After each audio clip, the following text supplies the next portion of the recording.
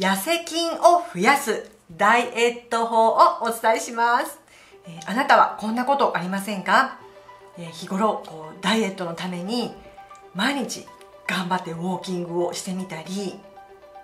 または極端なその、まあ、炭水化物糖質カットのですねダイエットにこう一生懸命日々取り組んでいる。の割にはなかなか最近痩せなくなってきた。少し、まあ、昔はですねちょっとすれば落ちていた体重がなかなか落ちない。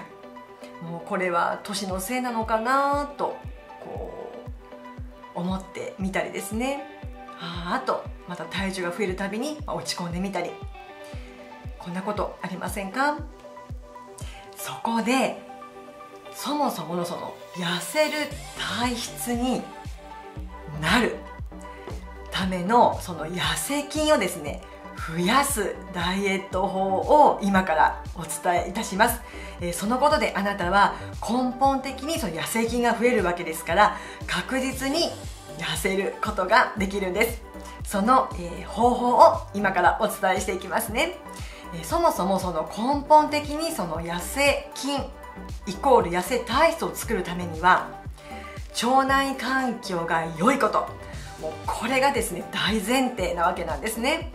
でなぜ腸内環境がですねその痩せることと関係があるのかと言いますとその腸内でその作られる、まあ、血液がですね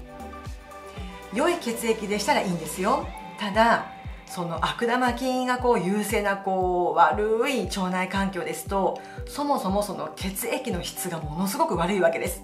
まあ、要はこうドロドロ値ですよね。老廃物がたっぷりな血液が腸でその作られた後に次に肝臓に届くわけです。で肝臓は体内のデトックス工場ですからその肝臓にものすごく負担をかけてしまうんですね。残念ながら。そうすると肝臓でデトックス、まあ、解毒作用がこうできなくなったものがどこに行くと思いますか？最終的に。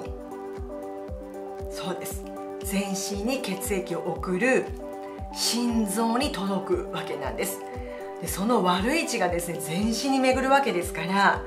あなたの脂質代謝がもう一気に落ちてしまって結果その脂肪をま燃焼できなかったりその外に出せなかったりですね。そうすることでもうどんどんどんどんその脂肪を溜め込んでいくその太る体質へとこうなってしまってらっしゃるわけです。ですからいくら運動したとしてもいくらその糖質をカットしたとしてもですねもともとのそのお体の体質がもう太る体質へともうなってしまうそのサイクルになれているわけですからもう何をやっても痩せないということは根本の原因はやはり腸内環境がこう悪いからなんです。ですから逆に腸内環境を良くする腸活ですね。私は腸活の専門家ですからその腸を良くすることであなたは痩せ筋を味方につけて結果痩せることがまできるというわけなんです。なのでその腸内環境が良くなります。そのまとめますと痩せます。確実に痩せます。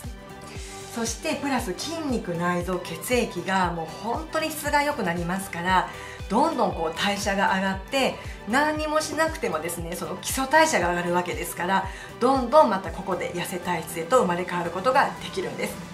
そして、えー、幸せ痩せホルモンと言われるそのセロトニン効果であなたのですねその心が満たされてこう落ち着くわけなんですね。ですからストレスがこうかかったとしても腸内環境が良い方はそのセロトニンの分泌が多いわけですから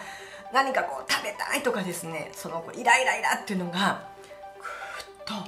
抑えることができますから食欲のコントロールにもすごく役立つということなんです。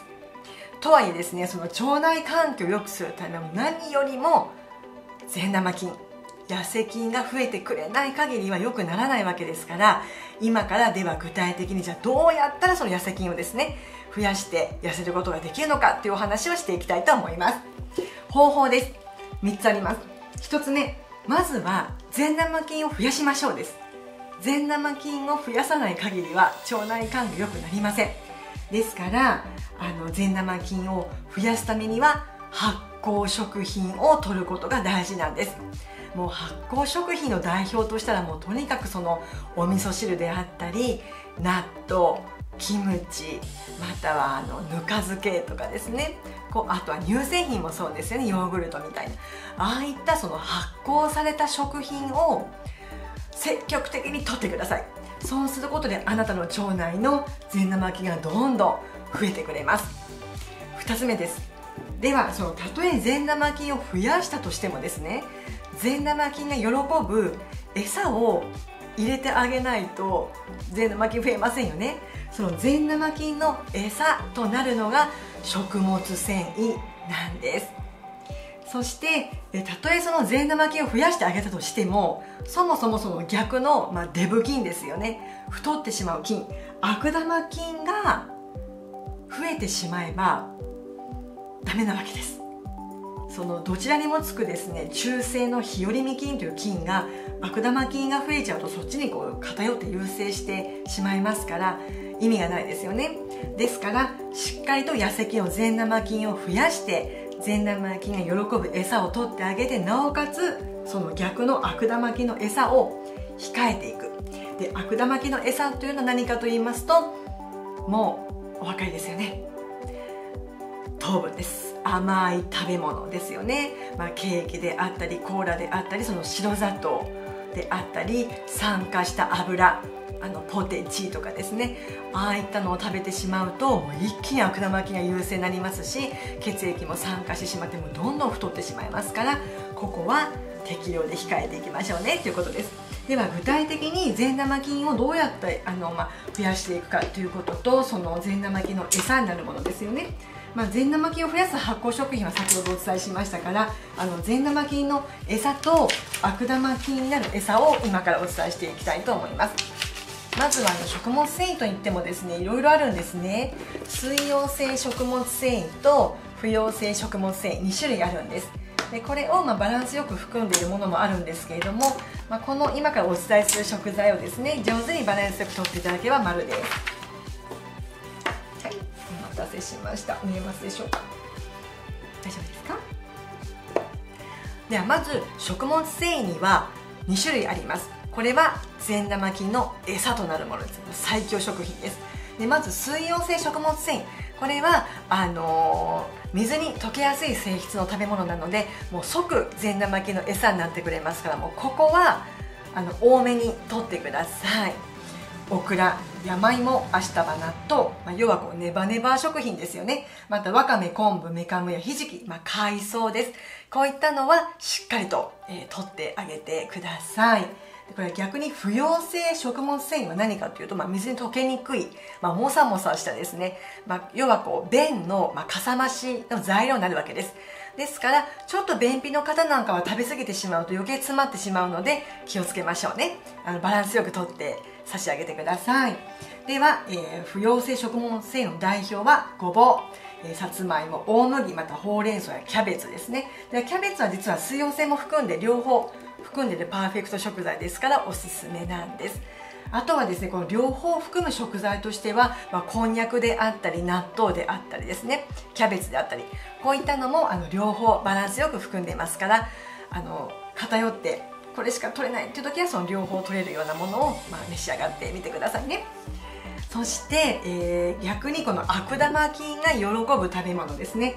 もしくは負担をかけてしまうもの、まあ、お砂糖であったり酸化した、まあ、油であったりあと実はですね農薬であったりその食品添加物であったり、まあ、お薬抗生物質であったりこういったのはすごくあの腸内に負担をかけてしまいます。結局悪玉菌が増えてしまう原因になりますからあのどうしてもねお薬は必要な時は仕方がないんですけれどもあの痛む前に飲むとかそういった飲み方は危険ですから気をつけてあげてくださいね。そして孫は優しいですね、まあ、ここも最後に伝えさせてください。あの大事なんです。もう腸内環境を整えるためには、えー、ま豆類。ごはごま。わわかめなどの海藻。やは、えー、野菜です。さあ、魚、しはしいたけなどきのこいは芋類、まあ、こういった食材を上手に取り入れてあげることであなたは痩せ菌を増やして確実に痩せることができるんです。さあいかがだったでしょうか、えこのお話あなたのためそして周りの大切な方のためにぜひお役立てください。そして、えこの動画が役に立ったと思っていただけましたら高評価ボタンとチャンネル登録をよろしくお願いいたします。